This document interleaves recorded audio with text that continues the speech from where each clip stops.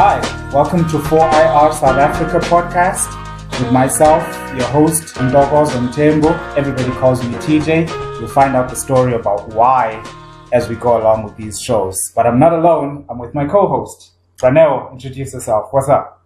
All right, how are you, my good friend? I'm good, Ranel. You good? Good. I know I'm fine. I'm fine. I'm Yeah. just excited to. We're here. We're here. We're finally we are- doing it, we- recording our first episode. You know, indeed, indeed. But even more important, to send out what we've been wishing and willing Come on.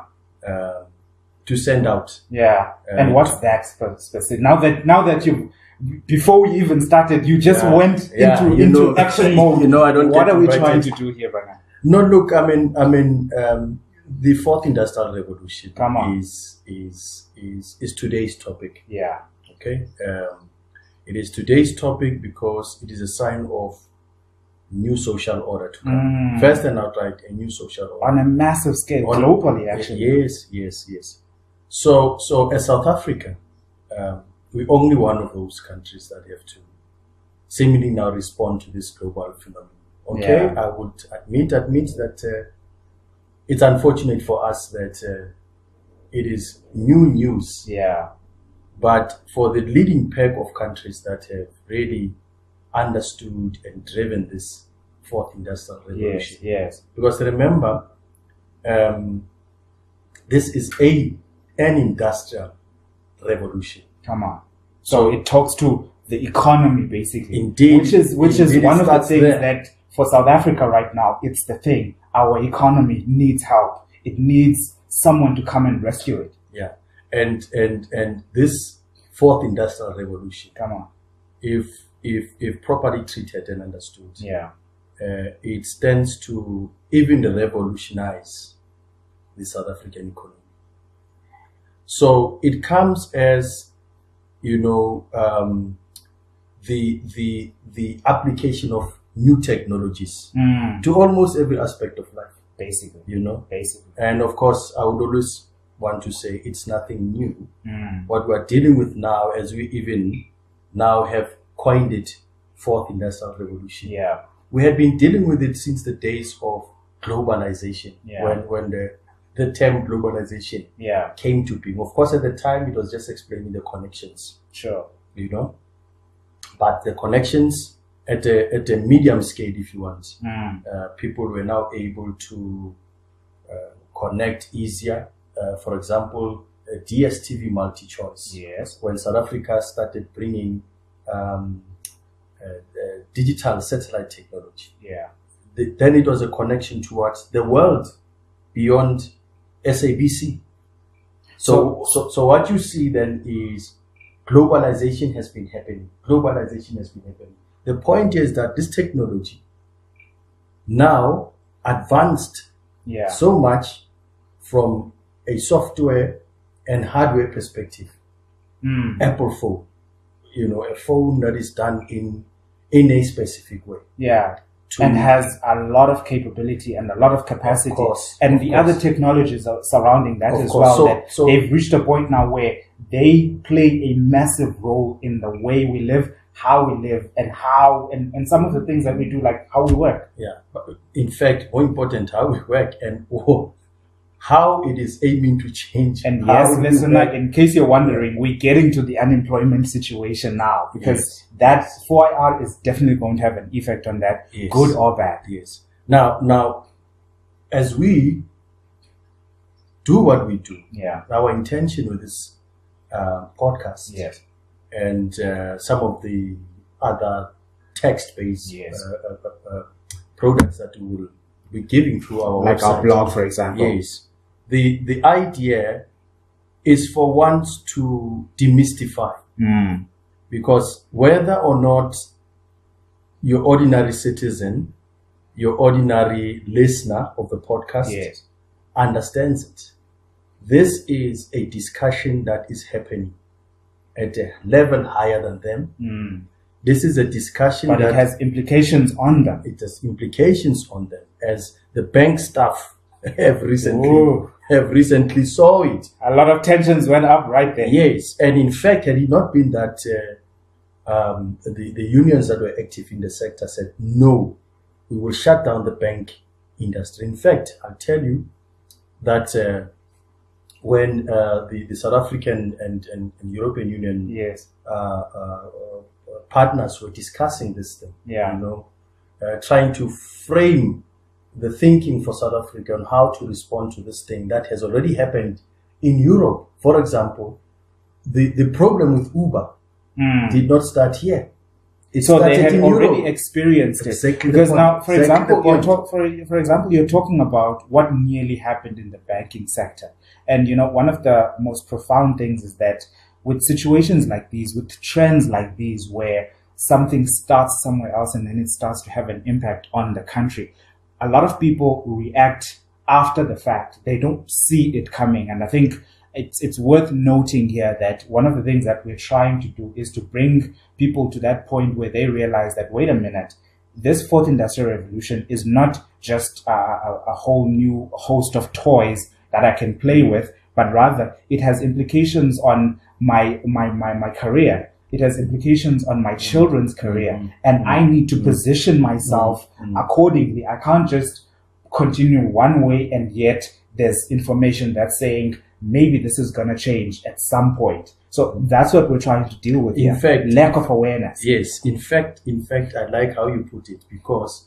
for once, uh, and and I speak as somebody whose background has been in government for a long time. Yes, yes. um, ten years old, and and having travelled, And it's going to be and- interesting and- in the following podcast Yeah. when you tell us about your experience. yeah, Yes. and and in, in, in, the point being that uh, I have seen the disconnect in how government flows its agenda yes.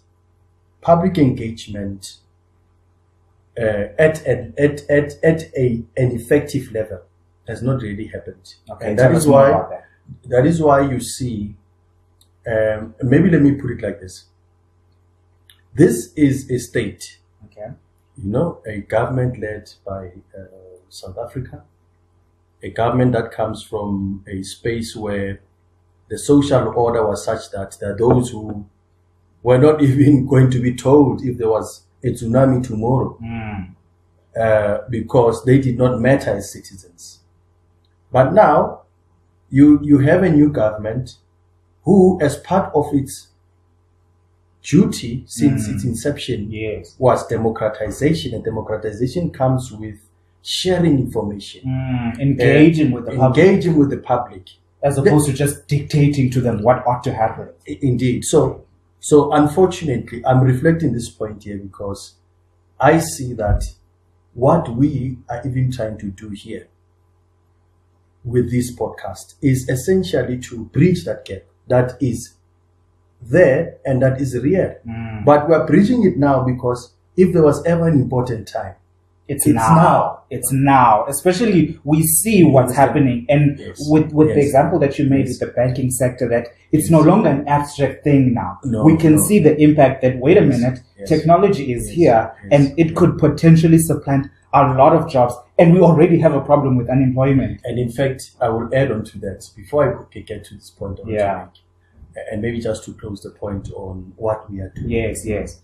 um, is that this paternalism, if you know what I mean, this uh, uh, uh, dependency on what government is saying. Mm. Government is leading the vision of society, Yes. and all citizens are recipients Mm. of whatever reality that is created. Okay. In fact, if you if you you see the service delivery protests, Mm. Mm. uh, and I say this with authority because I've worked in a, in a department there where I dealt with a, a local government. Okay. So municipal governance, um, one of the key reasons why they even uh, uh, created what they call the back to basics. Strategy. Yes. One of the key things that w- there was an attempt to address was this uh, deficit of trust between the public and government. Which is exactly, Which what, exactly- what's leading to the frustration now that there's no lack of trust between the citizen and the government. Now, look at it this way. Had it been that banking sector people were informed Mm. of these changes, the ones that have just lost their jobs, Yes. um, and you know, losing a job in a context of uh, an almost impossibility to get it in a, at, at the rate of speed that would be um, helpful. Okay. Is like throwing somebody at the deepest end and hoping Yeah. them to come out in a Somehow. day, in a day, because in three because, hours. because the issue is that now that, that that that person's capacity it's not that the business is downscaling because of Yes, financial yes, issues no it's just that now there's a machine that will basically make that person useless even in future Even- necessitating that person to reskill themselves because Exactly. it's not like that job is going to Exactly. open up again now here's another point. Uh, even businesses, they experience it the same yes, because if they don't apply um, new technologies to streamline the activities, look at Hollard. I'll make an example about Hollard. okay All these companies that are now buying into app technology, yes why are they buying into app technology? Mm. All right, because they are seeing its benefits. You, understand? so they're seeing where it can take them as a business as a it is not just that because the banks the banks are are, are using uh, digital technology Mm. to transact now. You know, Hollard as an insurer Mm. can't do the same. So your point being that if businesses are seeing a need to, to incorporate the advancements into how they do business, are you trying to say the individual needs to do the same to realize that I need to upgrade how I do things in order to keep up? No, what what I'm saying here is even businesses are impacted Okay. because this 4IR may either, you know, uh, kill you off Yes. as a business Yes. because you, the compete, competitor Mm. is using much more less costly systems to do the same job as you are doing. I get you. If you've got Hollard and you've got another one insurer there, and then the other insurer doesn't have an app, Mm. the very fact that you know Hollard has got convenient a convenient way. That is why FNB. convenience. Yeah, that is why you see FNB has taken uh, the award for the most, the best bank Yeah, because of Yeah. how they're using technology to Technology to- make life more convenient for their for their customers. Yeah, so so it is serious. It's not just for the individual. The individual's uh, interface here is Mm. I can lose a job. I can be redundant. Now that's an interesting point that you're bringing here of, of how businesses are using technology to make the user experience more comfortable. Now that in the case of FNB, for example, that's a good point because they've got the money to actually do that, Of course. to actually make that change. Mm. I think one of the things that we, we, we will be attempting to address here is that what happens to the small business owner who's just started yesterday with little or no capital at all? That, all right, I want to break into that industry, but the trends are moving in that way so much so that I'm not sure how to respond. So we're trying to also address that. Yes, yes, because the the the the average business Mm, SMME would not have the capability to just source that technology and yes, mass yes, at one go. yes. But what it would also do, it will create a point where even the shape of business competitiveness Mm, would be defined by the amount of technology you use. all right. So if you don't have the money for that technology, Mm, uh, you won't have quicker access. By the way, the 4IR, it is driven by that rapid. rapid technological advancement. Exactly. You know, it's something unrelenting because the scope of making these technologies is so huge and limitless. You understand? Gotcha. It's just what do you need? If tomorrow the reason why you even have artificial intelligence where it is it is it is that that realization that it is uh, limitless, you know, Yeah. if if you want to have robots that can that can build houses Mm. for God's sake. Now, what You happens understand? to the construction industry and all the people that it employs? So, so, so, so, so those are the business uh, kind of uh, uh, considerations. But, Yes. but to close off on the point I wanted to make about what we are doing. What we are doing here is to try and one first uh, conscientize Mm. that if there's ever a time for one individual or business Yes. uh, to participate in an unfolding reality on their on their lives Yes. is now. eh? But what we are doing, uh, we are trying to make them find their future in there, Come on. you know. But even more so, we're trying to give them scope Mm. and try and um, disseminate information faster. It is the information that we have collated for their convenience, Mm. uh, so that they don't get left out. So that they are also aware of the opportunities. For example, if someone knows that uh, there has been, uh, let me use an IT expert Mm. or an IT technician or an IT, somebody in the IT industry Yes. Yes. who, well, for all intents and reasons, know that uh, they would, you know, supposedly as they're standing now, their, their jobs are are safe. Mm. But you see, an IT person, unless you know the company cannot buy robotics that can fix the hardware of computers, Yes. or that cannot install those computers.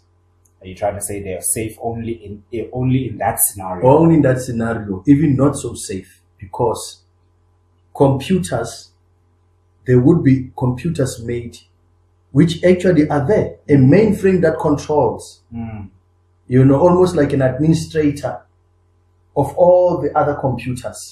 All Now, right. now, So, so Yes. you, you wouldn't need, you wouldn't need an IT technician yes.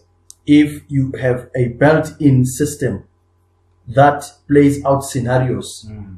Uh, when the system is down, it is because of reason one, two, three, and in that regard, go to three, go to four, go to seven, which is that coding thing they're talking about. Yes. You understand? Yes. So it will self-manage, and you will not have a reason to have a IT technician. So what I'm saying is, we prepare that technician Yes. because over time and, and, and, and by the understanding of social order of South Africa, Yes.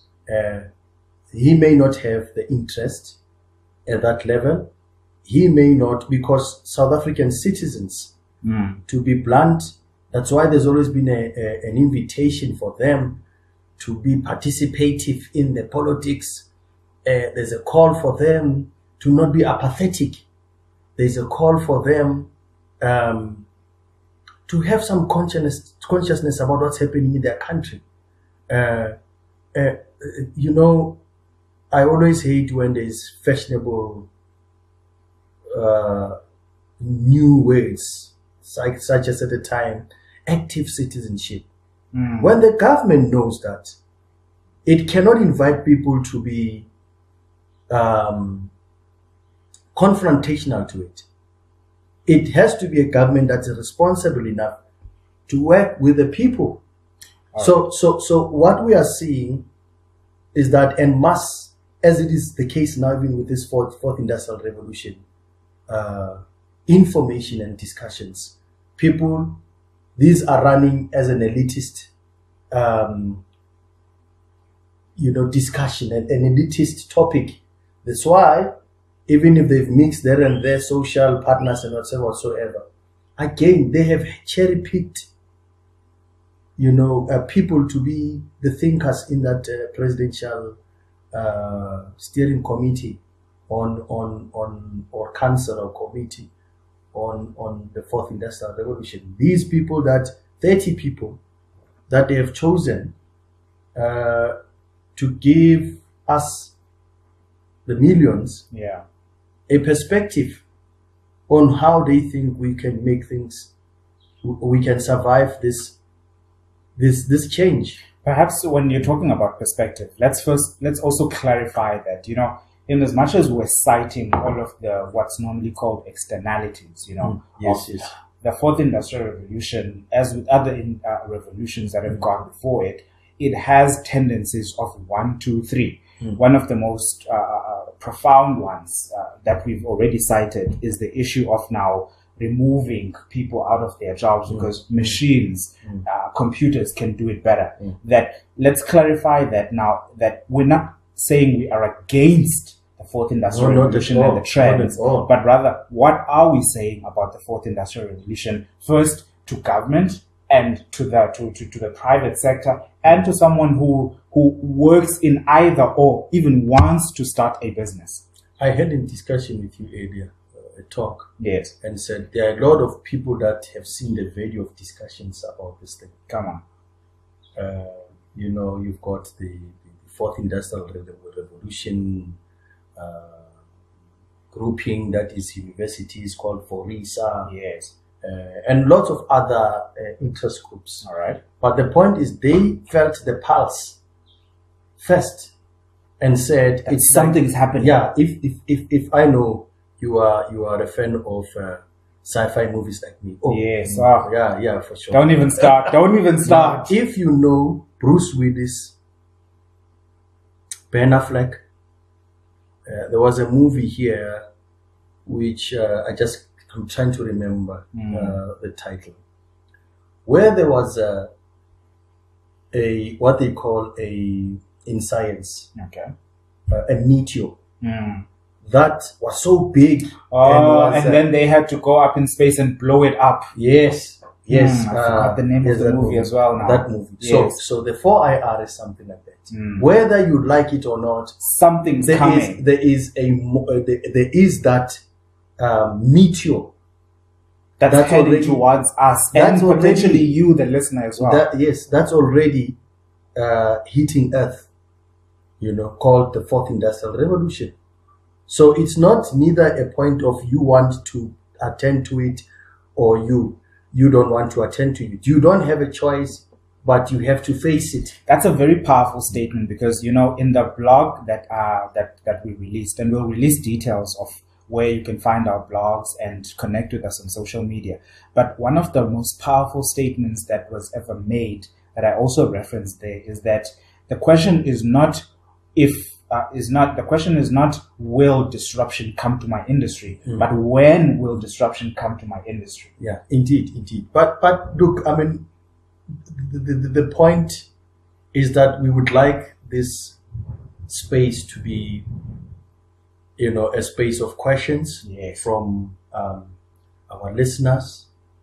We'd like to hear their perspective and their views And the experiences as and well. their experiences as well. And I'm sure there are those that and the possible solutions that they've thought of. Because you might find And that even the the, greatest thinkers of 4IR Yes. are actually in the country, not in government, And- but they need to actually be in a space where they can exercise those solutions. in in fact you hit it on the name because that's why this portal, Yes. this podcast yes. is being established so that for once we don't uh, react to government direction, Mm. but we find our space in this reality now. You know, Fantastic. so but remember, the the problem with South African citizens, as I had reflected, it is not just simply the apathy, but that a culture of participation in democracy was not built. yeah. You know, the only uh, participation that our politicians seek is at the elections time, Mm. uh, at the at the ballot. But let me tell you, the grand societies of our time, you can do this research, Mm. you know, and our listeners can just just just, check that around. Yes. That the most advanced and successful societies uh, have had an element of a strong public engagement, a strong public participation in the affairs of government. the individual doesn't actually even need to go research it because you look at, for example, we also had this conversation where we were talking about how you look at our democracy. Our democracy didn't just fall from the sky.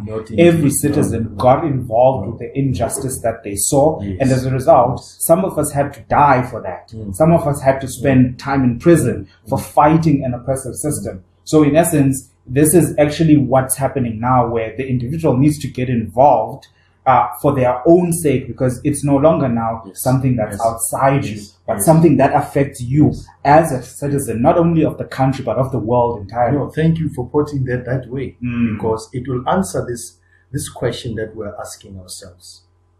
uh, having noted that we need to participate, Yes. and and we, we, we, we took the initiative uh, to collect an understanding and to disseminate it down. Yes. We were possessed with one question here. It said, why is South Africa responding to the 4IR? Yes, and that's the title of your blog, and I think we'll get into it in our second episode. But just unpack Yeah. the introduction to it, and then we'll dig in on the next episode. Yeah. Well, well, well, well. The reason why we are disconnected Yes. to this thing in the first instance, as as as, as citizens, and why we need to close that gap, Mm. Really is because we we come from a history of oppression. Okay. One, but more specifically, we come from a history of administrative states. All right. Tell us more about Now- what you mean by that. Now, an apartheid state was a very administrative state. Okay. At the top there is government and all the people that have been chosen to govern. Right. And the rest are all that are recipients of Mm. governance, of services that government should give. Come on. Now, those governments, that kind of government, the apartheid government, uh, was highly authoritative, highly, um, had a very high value of social management, even worse so at the level of uh, the Bantu population, as they Almost as if they were dictating. No, what- of course, yes. of course, it was a, a very dictatorial uh, uh, arrangement. system, yes. Yes, that's why that's why the position of black people, of African people in South Africa was was was as it was, because here you were dealing with a highly administrative, highly violent state Mm. that was driven by a a value system, which obviously sought to uh, to turn others into laborers and others into recipients of the benefits of others' labor. Mm. Okay. Yeah. Now, fast forward post 1994. So the vision of that society of apartheid, as I've just said it, others will be laborers, others will be enjoying, and others will be uh, owners, and others will be uh, beggars, and others would be borrowers, and others would be lenders. Interesting how we, it's almost as if we've inherited that that dysfunctional system even now. Indeed, indeed, that is the point. It, it is, in fact, what we had to end up doing um, is to manage this, the, the, the skeleton of that apartheid system. Yeah. Today, you still have uh, the, the, the, the, the structure of the apartheid government systems still working. You know, Which would Parliament, as it were- the dysfunction that we're seeing right yeah, now. parliament as it were. But but the, the, the dysfunction really uh, is in in leadership. Okay. Okay, there, the structure and the functioning of that that society, uh, or, or whoever had the, the, the perspective that the society must look like this for them, was successful Mm. because today it actually did what that system sought out to do Mm. have those that are laborers laborers still today Yeah. have those Still that begging yes those that are borrowers are still borrowers today and drowning in debt. and drowning in debt and those that are, are, are, are lenders are even having much more strength in the past 20 years to be lenders trillions of rands are being reported that uh, that have been you know, business- stolen. Stolen is one before we get to this grouping that is Yes. stolen Yes. but that those that gained out of this transition from apartheid to the new government uh, uh, to a democratic state they have you know uh, tripled some of the capital Yeah. in their banks Their network. yeah, their net worth you understand and they say collectively you know they count trillions of rands of that uh, liquidity that is sitting in banks, just counting the local uh, business uh, uh, uh, councils or what you want to say companies, Yes. you know, their net worth combined that they are holding in banks that they should in, be, be, be investing Yeah. back. It's about uh, trillions of rands. Now, you ask, You know why? Why do we get to that point?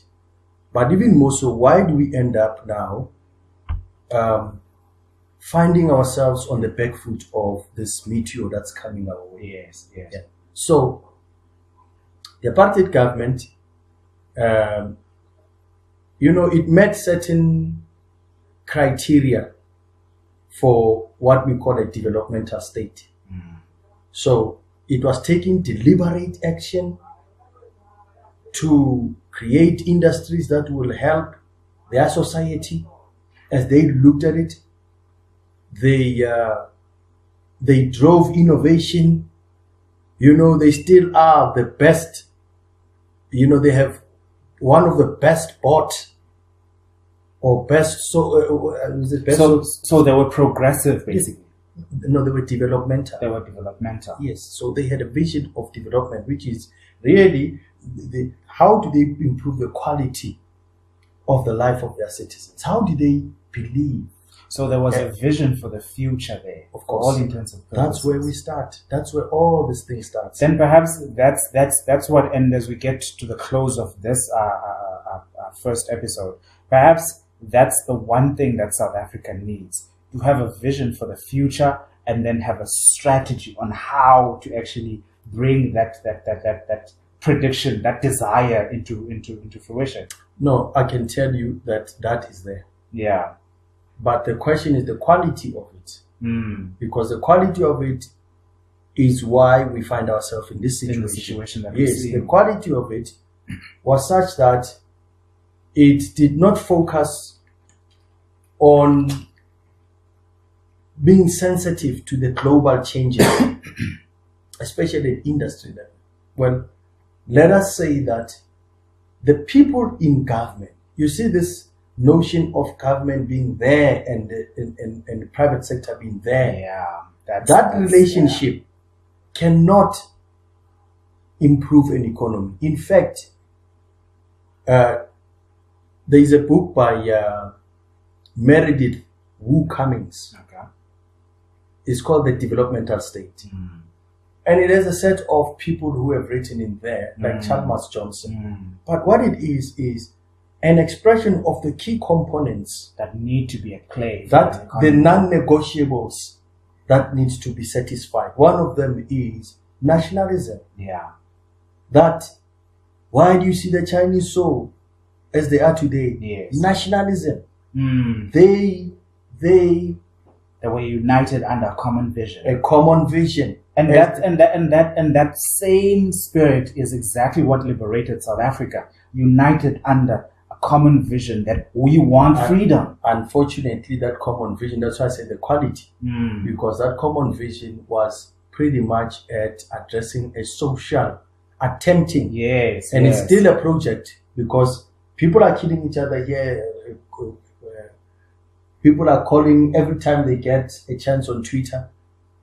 Three people already, three white people, yes. have gotten under the smoke for racist rants on Twitter. Mm. So there's So- so- social dis- there's, there's, there's, a, there's a disconnect in our society There's still the, a, a social as opposed to the unity that we need at this point in time. Yes, but what's even worse is that in terms of the the the, the non-negotiables, Yes. That I know. uh, um, you have all the countries that have succeeded, like Japan. hmm? Uh, not only did they have a vision, but they had the discipline. Mm. They had a state that ensured that it had good relations right. with business, Sure. but not parasitical relations that we are seeing here. But mutually beneficial relationships. In- indeed, because any smart business businessman knows yeah. that you can have bricks and mortar um, in a particular community Yes. and open a shop. What's going to sell your business is not what's in there only. Exactly. It's going to be how you relate with the community. That's fantastic. You understand? That's fantastic. Yes. Look, uh, uh, for today, you know, uh, it's, it's interesting how just with the introduction of what we are attempting to do, we've unpacked so much. And, you know, to us, uh, uh, from us, to the viewer. This is one of the things that we hope we will foster the conversations that will unpack these issues because obviously with everything that we've discussed now, it's clear that there's a lot at play here that we need to be observant on. I want to thank all our viewers for listening in for today and you catch our next podcast. I will definitely include at the end of this uh, podcast all the details of where you can find our blog. And we'll be discussing the blog actually uh, in the next episode where you can uh, communicate with us and everything else that goes with it. But thank you for joining us for today. This is 4IR South Africa. Out. Shop shop.